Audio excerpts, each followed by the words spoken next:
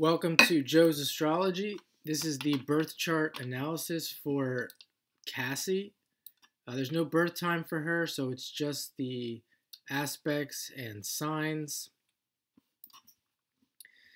And she is a Sun in Virgo, Moon in Taurus, Venus in Libra. And if you're you're new here uh, and you're new to astrology, and you're here because of the Diddy and Cassie video, stay tuned because this is very, very interesting. Uh, she, we can look, I want to look at her transits first of all. Okay, if you don't know what transits are, these planets here, they are currently in different places and they go over uh, the planets in the, the chart that you have when you're when you're born. And let's take a look at this Mars here first she has Mars at 12 degrees Capricorn, and Pluto, when she was born, is at 5 degrees Scorpio. And when that, um, apparently, the video uh, with Diddy, when that occurred, when that actual incident occurred, Pluto was going over her Mars. And if you don't know anything about astrology, a Pluto transit, when a Pluto goes over a planet in your chart, especially a planet like Mars, uh, things can be very disruptive in your life, changes, and, and we, we think of planets like Mars and um, Saturn that rules that Mars and, and Capricorn and, and, Pluto. We associate them with violence. Now, Pluto, now Diddy had Pluto going over his Mars uh, currently, and when when um, all this came out in the news and the and the feds raided his house, etc., and it's still there, close to his 29 degree Mars at um, Right now, I think it's at one one degrees. So that's interesting as well. They both have this Pluto Mars transit, but right here, when that incident happened, Pluto is going over Mars. We can look at right now. Saturn is currently going over Jupiter in Pisces. And the moon, we don't know exactly where it is because of the no birth time, but it's probably somewhere near here because Uranus is actually at 23 or 24 degrees uh, Taurus right now, so she has Uranus going over her moon currently. And the South Node recently, within the last month here, has went over her uh, her Venus and her South Node there in Libra.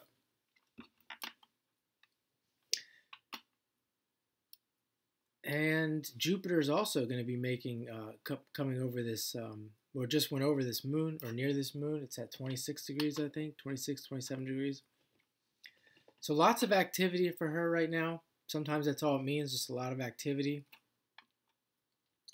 But I would say, you know, I'm gonna I'm gonna get into the birth chart and what it means here as well. But we could say, you know, it's Saturn going over this Jupiter. Jupiter likes to be in Pisces. Jupiter's a beneficial planet. Um, you know, you could say with Saturn going over it, she may be getting, uh, this may not be the most fortunate time for her uh, with Uranus going over the moon, but Jupiter's there too. This may be, you know, we could see trauma coming up with Uranus associated with trauma. Moon in Taurus, Taurus is money, uh, and it's in the Capricorn Decan, 25 degrees. This could be a hit to her, to her bank account. This could be a hit to her status, or maybe it's the other way around, where um, she gets so much attention that she makes even more money and her status goes up. Can't really say uh, just by doing this mini reading what that's going to be, but I'm sure if you uh, stay tuned to the news, you'll find out soon enough. Um, she has interesting astrology when it comes to basic astrology. Like this Venus is in a sign that it likes to be in. Venus is ruled by Libra. She's got Pluto and Scorpio where it rules. She has Mars in Capricorn where it's exalted. She has Jupiter in Pisces where it rules. And she has Moon in Taurus, if this is correct and it's not in Gemini, where it rules as well. So that's a lot of planets in the, their home signs. And for me personally, if I knew this person in person, I would really, I think I would really get along with her. I think I would um, uh, really be fond of this person because of a lot of these placements. nice little Mercury in Leo with the Sun. I love this combination here, Sun and Virgo, Mercury and Leo, because it's not, you know, all Leo. It's not all out there in your face, me, me, me, me. There's that, yes, there is that element of getting attention and being a performer, but then there's that Sun in Virgo where uh, she's also probably very introspective and uh, you know just someone who reflects on her actions and, and things in her life. Now i want to get into more of the negative side of this. You know working with i think diddy is also a virgo sun. And what we're talking about here with all these virgo the virgo and pisces and the taurus and all the basically the earth and the water but specifically virgo and pisces and also this Venus on the south node. Venus south node, you know, where she's coming from, she's a beautiful, beautiful uh, woman. She's uh, creative. She's artistic. Now, my my mother, if you if you haven't seen that chart, I did a chart with my mother, and she also had Venus on the south node. Very similar, very similar in these ways, but uh, with that everything I just explained, plus the Venus on the south node, that's not exactly all good and fortunate. Yes, it could bring the, the money and the, the good looks, etc. But um, definitely with, with Libra as well, problems in relationships. We're dealing with abuse, dealing with maybe some masochistic behavior. So, you know, not all, without knowing the whole story, but, you know, this is often the case with these emphasis on these um, areas of the chart Sometimes the people can get involved in uh, relationships that are very uh, sadomasochistic. And there is no shortage of that indicating here in the chart. We see a Sun Mars trine, we see a Mars Neptune uh, conjunction, Neptune being the planet that rules uh, this Jupiter.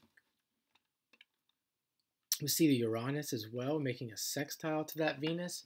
So, you know, a lot of this stuff people can be into these kind of things and, and we see with uranus there is there's an opportunity. And you could say there's an opportunity of her being an individual unique person but also the negative side could run into these incidences where um, a person gets themselves into trouble.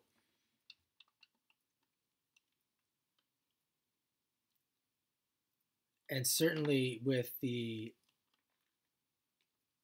um, with the moon in Taurus, I, I would associate Taurus and Capricorn with these energies as well. She does have this north node also ruled by Mars. And here's the last thing I'm going to say. I'd be, I'd be able to get more specific if I had the birth time, if I had the whole chart. With that Mars that we're talking about, um, where Pluto went over, it's squaring these nodes. And the resolution node is the Libra. So perhaps, you know, with Aries and Mars, perhaps she went forward a little too fast. This is where you're moving, where you're headed. And um, she went forward a little too fast and didn't consider the implications of the relationships that she was uh, forming or that she's forming in the life in order to maybe get famous or, um, you know, to accomplish what she wanted, the mission that she wanted to accomplish with that North Node of Mars. And there, with that being said, there could be some need to come back here to the South Node and um, with these relationships and reassess the um, reassess you know why you're there who you're with. Um, these are the people that you want to be around? Uh, maybe reassess your own actions and your own um, thoughts and, and words etc it could be a, a any one of these things, but just in general, um, you know, rehashing over these things and figuring out maybe a better way and how you want to integrate this Venus South node with your mission, uh, North node in Aries, and where you where you uh, really want to go. So that is my mini reading for Cassie. I also did Diddy. I have four videos on Diddy. Uh, and on his astrology. Check those out. Um, I'll probably link them down in the description. And I hope you enjoy this mini reading for Cassie.